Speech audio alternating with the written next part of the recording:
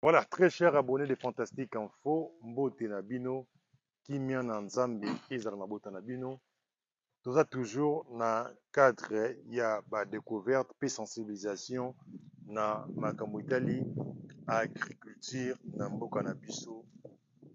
Ndenge bongo tokomi na kati ya village ya ndako ya pembe na kati ya ferme en 2 km ya route principale.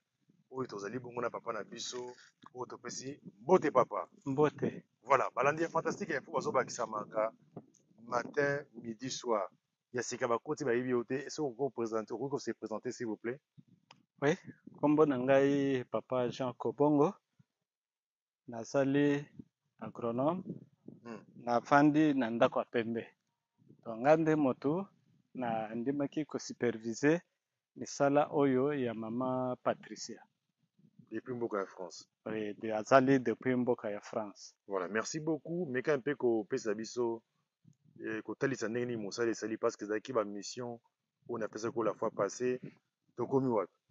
Oui mosala ezalaki normalement il faut ko kosala labour hmm. faut tosalisa labour mpo tozokende na campagne oyo tolingi tosala mosala mpo totelemisa ferme lokola tosololaki na ye na mama Patricia ayaka awa alors labour yango oyo esalemi tozokende kuna bien que nano esa esili te hmm. tracteur ezwaki panne bon.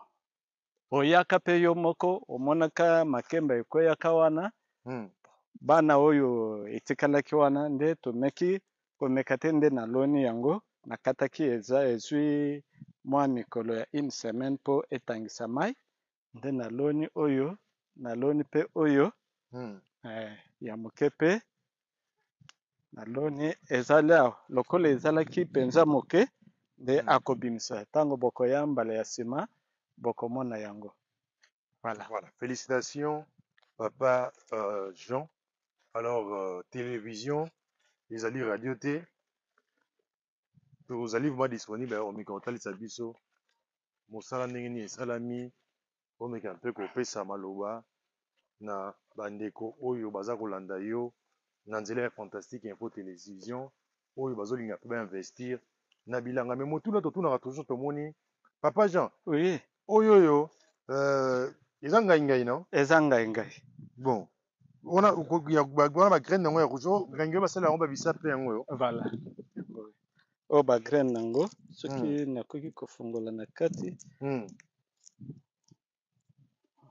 ba graine yango yango ok ah, wana bosala nde sikoyo olona yango sino mabele oui Kutu ndenge eza boye toko luka moyen to longola yango dejà ba graines hmm. wana comme ça to garder yango hmm. na à partir ya mois d'avril tango toko rebionner lisusu bilango po soki tolongoli bilo toloni biloko oyo ya 3 mois ba culture maraîchère tolongoli bako rebionner lisusu okay. po tolona eh, ngai ngai mopanzi Toloni masango na kati, toloni manioko sikoyo ekotikala eternellement awa po masango eh nani manioko ezuaka mua temps une annee, une annee et deux mois, Oyo une sikoyo annee et bisape yango demi. bisape basalelaka nini awa na na ba na ba ngai ngai to ba graines? Te na ba ngai ngai. Na mayi wana? Eh nga ndenge eza boye soki otokisi okomona ekobimisa mayi moko ya rouge Hum. eh.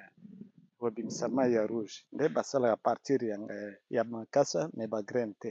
Ok merci beaucoup papa Jean pona musala oyo ozo kosala awa na kati ya ferme ya maman Patricia oyo aza kolanda biso depuis mboka ya France oyo topesi pe mbote na libota mobimba.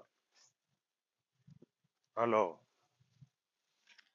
Papa Jean, Oui, tokomi wapi? tokomi na hectare oyo ya liboso Mm, oyo esengelaki ke tosala labour. mm. Awa nde tokotya solo, Un hectare ya solo. eh, tokotya un hectare ya solo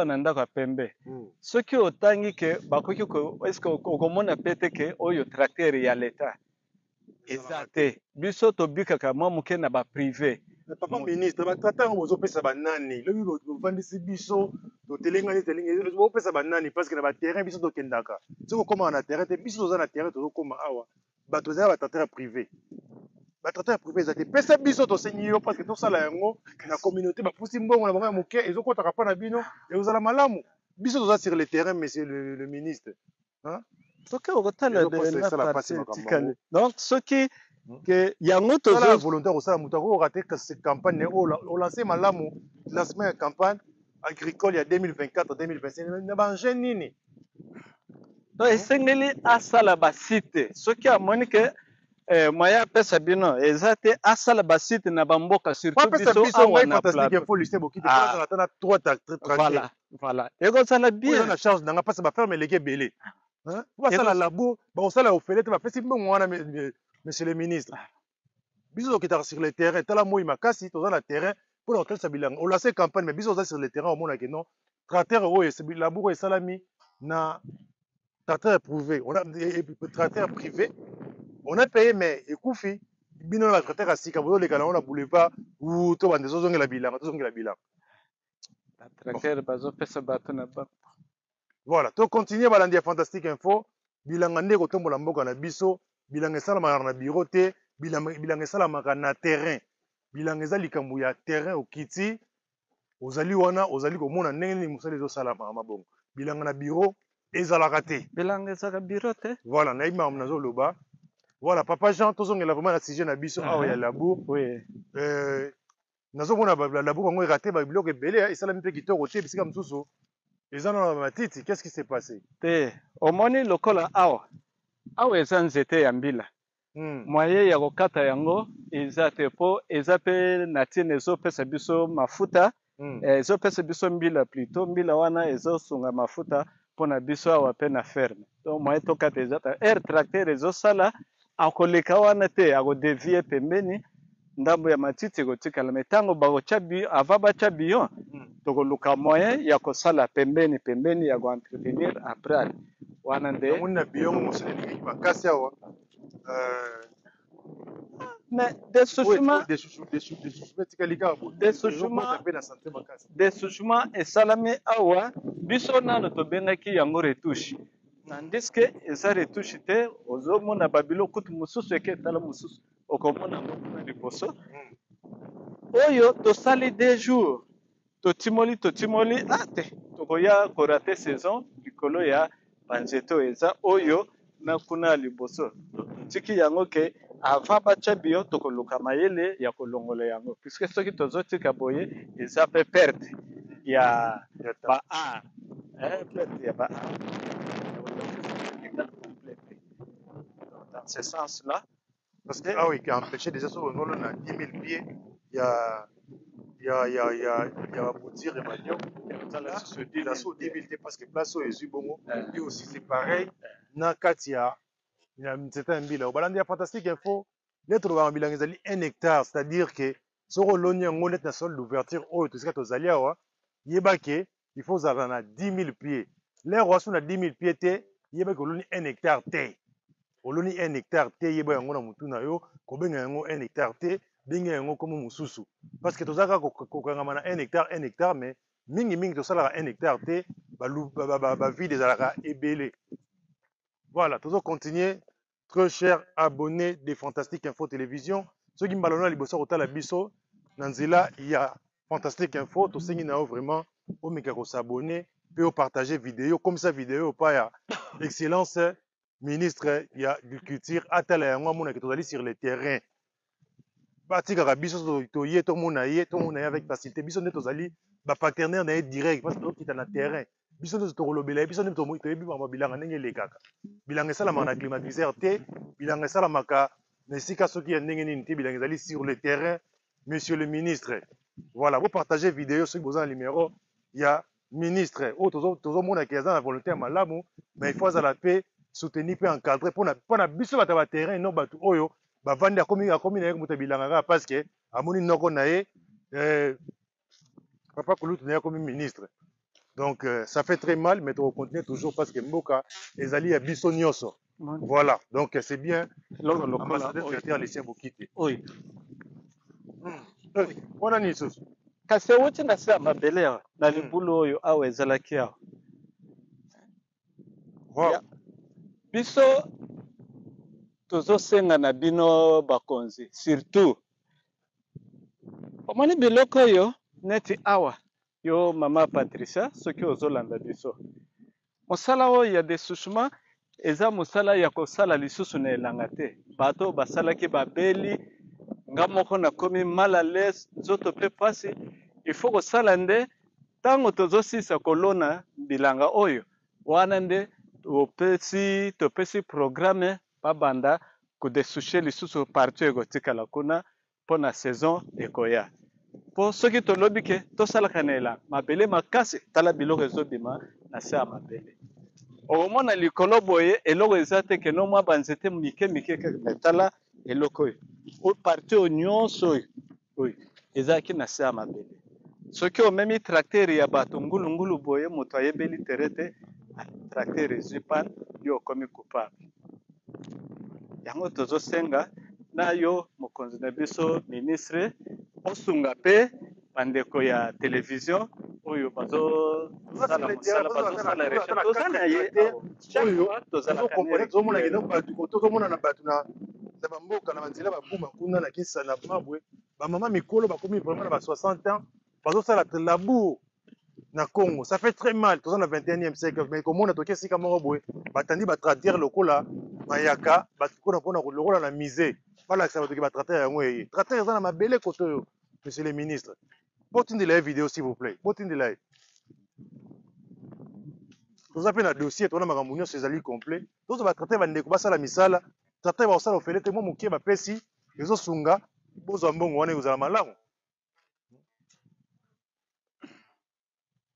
ça fait très mal mais tokotika te parce que bilanga nde ezobenda biso ndenge bato mosusu mosala ya nzambe mu- mu- misala ya nzambe ebengi ye akoma paster Eh, ndenge biso mpe bilanga ezobenga biso eh, bokoma mpe ba voilà toza na biso na badiplome oyo ezali oyo tozo merite yango bien oyo toza na facilité ya kosala nyonso me kasi bilanga ezobenga biso on a compris que ezali message nzambe apesi biso alors tokolemba te bosunga biso balandi ya fantastique info télévision bokamwa te lelo nalobi lokola nalobaka te parce que ça fait très mal je vais vous expliquer parce que nazalaki lobi na remise ya babiloko tout ça nani ya campagne ya campagne lancement ya campagne agricole mais oyo elekaki ezalaki makambo ebele esepelisaki ngai te et ça fait très mal ça fait très mal basali hmm. tracteur eyaki kozwila pan awa ya hmm. pompe ya relevateur Okay. Eh. Tracteur ozwi panne. Congo maye mata lisusu eza te. Hmm. Tango Congo ezo mata te ekosala mosala ndenge nini? Akoki kobanda te ke kaka Congo na mabele kiriti abaluki ake boye te. Wana ozoboma lisusu mpenza yango mbala mibale. Tala parti etikali. Hmm. Limite tosani tosala jalon yango wana. Hmm. Ti na jalon wana kuna tokei ti eka nzete ya mbila wana. Jalon mosusu mpe eza kuna. Toko kende boye ti kino toko zongela awa parti oyo nioso tout il faut tozela ba kendaki ba sombi pièce yango baye ba tie ekomi o oring oring bon toyebi te yango ba zongi lisusu mais tandis que projet na biso ezali que ba sala mbala moko po toluka moyen ya ko legaliser projet na biso ya kolona awa toza na programme ya kolona aubergine awa nyonso espace oyo mpo esunga population ya Kinshasa epesa mpe ye mama Patricia eh, mwa sourire mpo akontinue misala aza na misala makasi awa mekan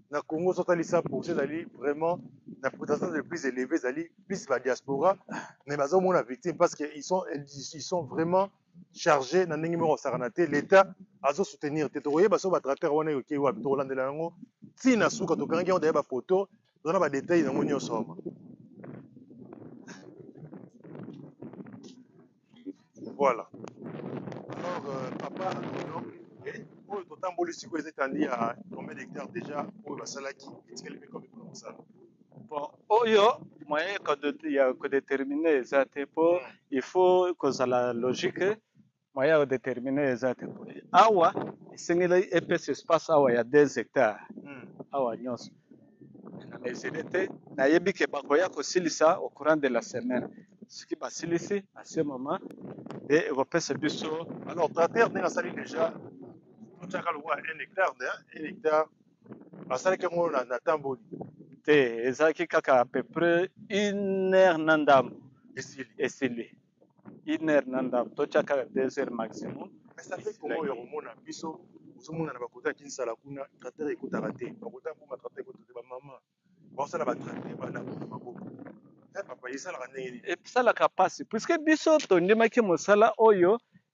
Ezali ke po eh, tomesanaki na yango, eza lokola bana mike, soki alamuki poso na ye asakana na mabele. Ndenge pe biso tondimaki ke likambo te, tosakana na mabele po population ezwa mwa souffle, ezwa eloko ya kolia. Ata osalaka na bureau, soki olie te, pantalon kutu ceinture ekosimba na yango lisusu te.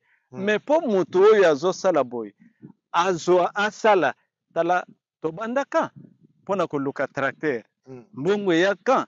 Naye kozwa tracteur difficilement. Kutu mbongo bopesaki ngai na montant bino bopesa ekomi napesa opesa oh, biso boye a ah, kuna zamba boye a ah, kuna boye ezopesa biso mpasi de préférence biso tozosambela tozo bino moko leta akanisa bino apesa bino ba tracteur na mosala ya boye oui. yo moko oye na tracteur ale soit tracteur ezovanda moko evandi na odispose yango na ferme ezosunga population ya kote oyo ezonyoko esika ozomona na awa hmm. espace oyo il faut basala bilanga hmm. jour bazosala labour oyo tala bato bayaki mpona koluka ba sollicite mais lokola pe ezwaki panne tala ndenge mabele elali na ngambo kuna moyen basala misala eza te soki bazosunga bino vraiment ekozala kitoko mingi voilà merci beaucoup papa jean agronome expert na kati ya village ya ndako ya pembe papa jean namoni outi outi ekole mama moko eh? ah oui parce soulier boye awuti eko naza na pota moye nalata na chaussette eza te tala pota nazokaka mokolo ya, ko, ya kosala labour oyo mm. eh, patron na ngai yo mpe nabalukela yo lisusu mm. nayebisa ata bote nayebisaka yo mbala na mbala okanisaka biso te eh, bino toyebi bino bato ya kinshasa ndenge olobi ke nakoya mpo na lelo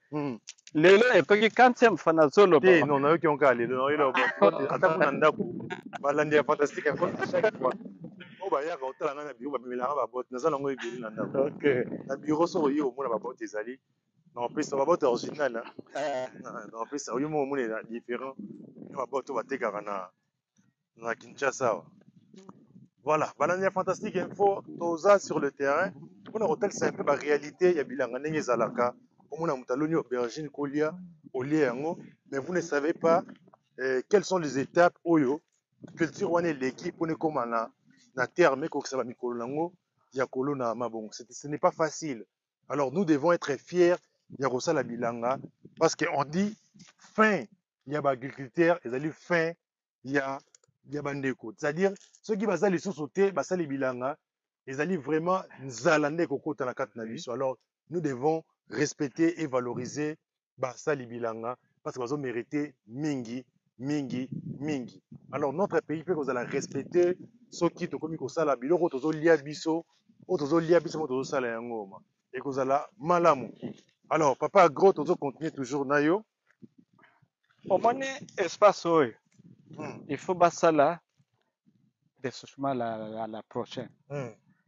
yango nayebisaki nalobaki mbala liboso ke non Moyen ya kosalisa dessouchement na elanga eza te au moins na mbula nde souhait na biso tozo senga maman Patricia nzambe abatela ye apesa ye makasi na yo pe azala na bino apesa bino alongola maladi oyo etungisaki yo pe ezo tungisa yo ozala na kimia po il faut bozalaka surtout na système ya eh, ya ba rencontres hein mm. bozala na système ya barencontre okay. que non mpo tosala baprojet ya mikolo ekoya oyo boye bon le début a été toujours comme ça eza likambo te mbala ya nsima tokobonsa mpo même après biloko oyo kolongola biloko tosengeli tosala évaluation totala réussite et perte qu'est ce que nous devons faire à la longue eh, na mikolo ekoya wana nde ekopesa biso eh, moyen ya kotelemisa kompani na biso oyo mpe ferme ya mama patricia tala banzete ya mbila soki oyokaki deba tozalaki na yango ya koloba ke non moni de souvent surtout awa ezaki zamba eh. hmm.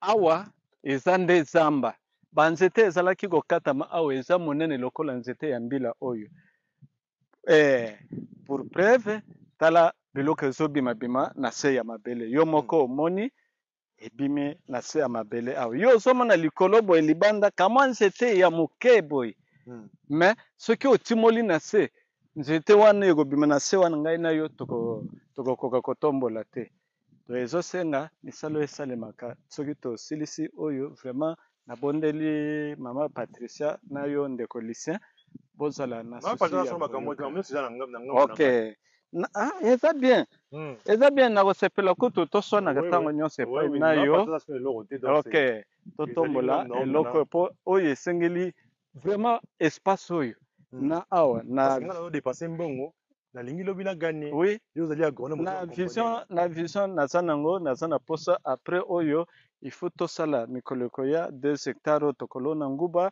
deux hectares oyo tokosala voilà. mpona badesisma oyo biloko bozwaki bandeko basala makala basala makala te tozokende kuna ah, basala makala tokokabona na bango parde ok donc eh, ngai na kobimisa mbongo moko te oyo ration eloko te bino bosala kaka nyonso apres tokaboli wana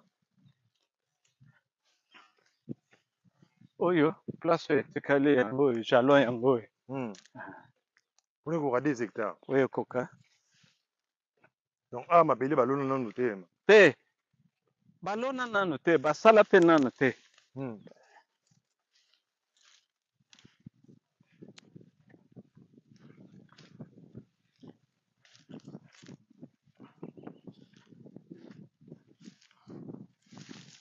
donc limite na biso tokozwa yango jalon yango hmm. kote oyo ok ah, jalon yango otyaki eh? ah. jalo yango wana koto pe tozokita na se yango wana ezomonana na hmm. sima nzete ya mbila tozokende kuna okay.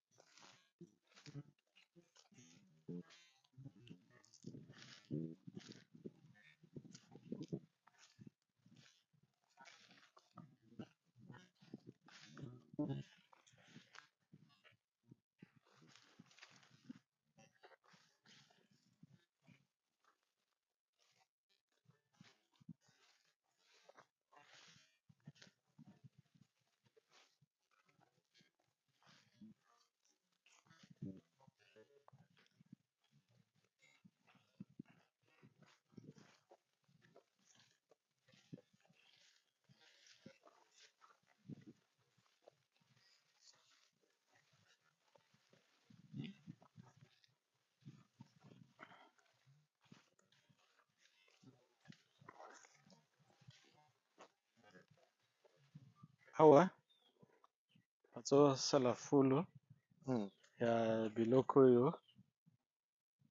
ebimaki na se ya mabele. parti oyo nyonso oyo tomoni kuna hmm. bakosalela yango mpe fulu na ngambo wana kuna hmm.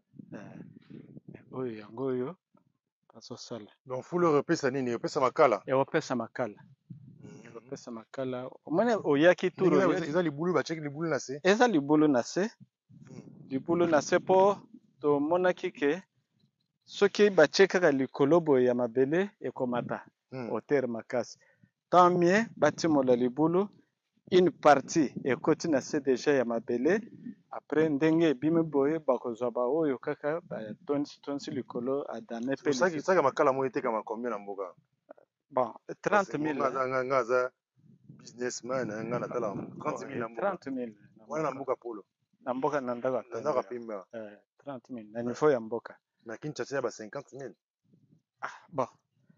Ngai natekaka na Kinshasa te, naza pe nasalaka wenze kuna te. Yo oza yo moko outi koloba yango, otalaka mbongo, otalaka talaka pe quantite ya misala. non natalaka qualite Eh, ah oui, Eh, bon. Oza na raison hmm. qualite ya musala yango oyo bazo sala ndenge eko pesa biso a ah, tokomisa ata 300 saki awa te 300 te eza full ya 300 te ti hmm. bako sala le deux full nde tokoyeba tango eza pe lokola mwasi aza na zemi hein moyen aloba te ke mwana ngo mobali to mwasi te ya defa okomona mpe osali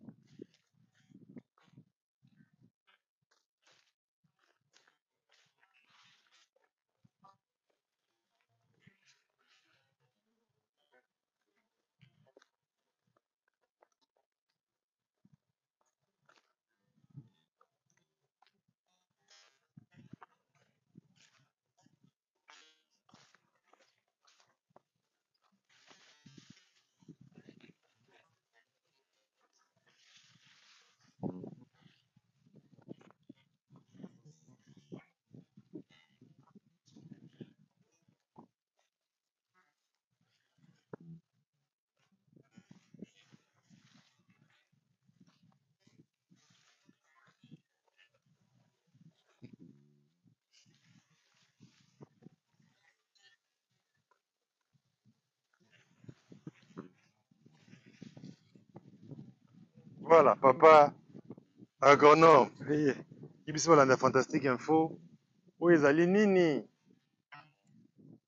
oyo awa tosali pepinière mm.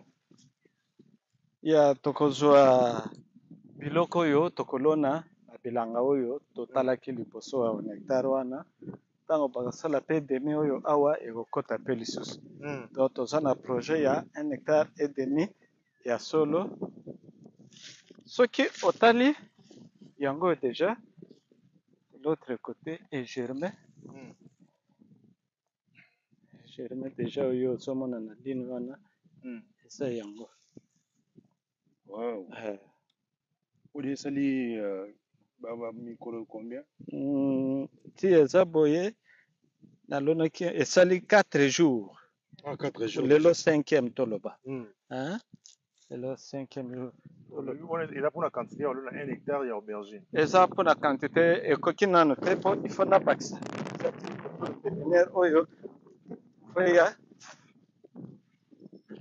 plus moins ti awa il faut nasala malamu etikala ke ezanga ekoma keno bokende boluka bosala ba eza bien te awa mpe ezali sauf Awa nde nazo bongisa soki to bongisi nionso awa to tie pe pepine to continue na pepine nde to cloture awa ezo senga sikoyo kaka arrosage du fait que mbula esali mwa delestage ezo noka penza lisusu te yango omoni ke epesi mwa retard soki te pour na 1 hectare et demi wana osala combien de, de grammes ya ya ya, ya, ya graine Oyebi ezali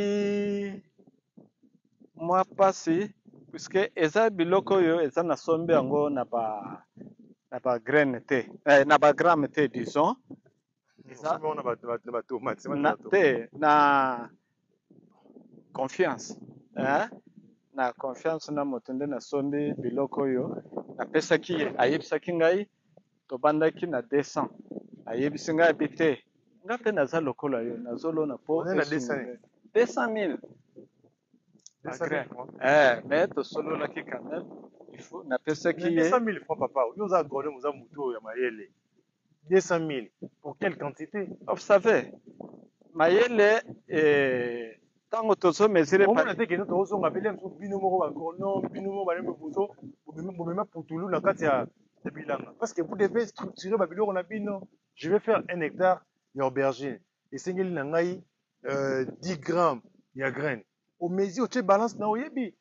bilangi yango mata to condamner bato tout mais bino moko oza na na na na na part ya makambo ebele hein te bon biso toza na part ya makambo ebele te soki totali bien awa touti koloba nini neti discussion ya nani ya tracteur hmm. eza part na biso te eza part ya leta soki otali neti babilanga awa tokolona na plat te tokolona na bion il faut batya bion mpo culture toza eh, mabele toza nango kote oyo soki oloni ke olona biloko na plat tala nanu kuna na ndenge eyindi matiti mm.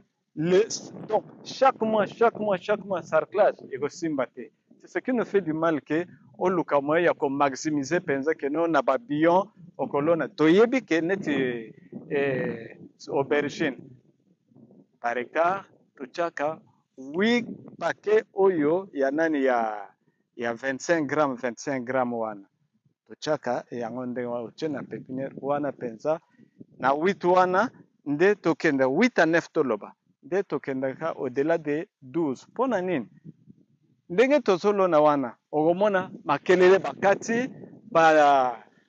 ba biloko ma banque bazo kata kata au lieu que ozwa lisusu course ya kobandela eh, nani ya zero pepinière ya zero oyo etikalaki wana yango okozwa babandi ko remplacer rapidement po ekokisa effectif wana penza bien bien na quantité oyo esengeli na bilanga voilà. na sens wana merci beaucoup balandi ya fantastique info tokomi Na suka na descente na biso ya mokolo ya lelo oyo nazalaki bongo na commune ya Maluku na village ya ndako ya pembe oyo nakotaki bongo 2 kilomètre mpona kokoma awa na kati ya ferme ya mama Patricien depuis mboka ya France topesi ye mbote na libota mobimba mpe topesi mbote na balandi ya Fantastique Info nyonso oyo bazobenga biso oyo bazokomela biso oyo bazosunga mpe biso parce toza mpe na besoin ya soutien na bino mpona chaîne na bino evanda emata niveau mosusu bamateriel ya kitoko makasi ezala bosunga biso mpe lisusu mpe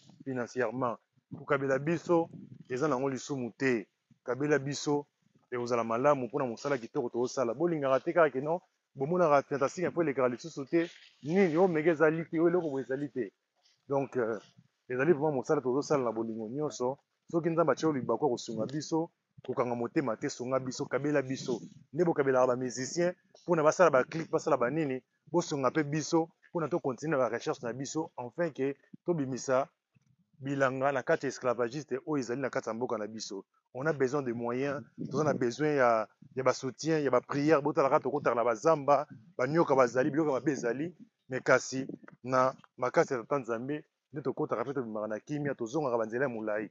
Toza na besoin vraiment ya soutien na bino na ndenge nionso. Ba connexion internet, ba mega, omoni oko sunga ndeko na yo ata ekoma na yango mutu oza ata na kin awa, otindeli ye mutu mega ekoma, eko sunga kaka kitoko na numero ezali afficher wana, ekosala biso bien. Toza na besoin ya soutien, bolinga te ke non ah chaine moko ezalaka ekomi ya boye ndenge nini, ah eloko moko ezalaka boye ndenge nini. Tango yango oyo, bosunga biso afin ke to meka ko avancer osala mosala oyo na bolingo nionso vraiment alors ekozala malamu soki toza pe na makoki mosusu nzambe apambola bino topesi bino mbote bino nionso oyo bozwaki libaku pe temps ya kolanda biso merci beaucoup c'était votre humble serviteur ambassadeur de la terre monsieur lucien bokite bye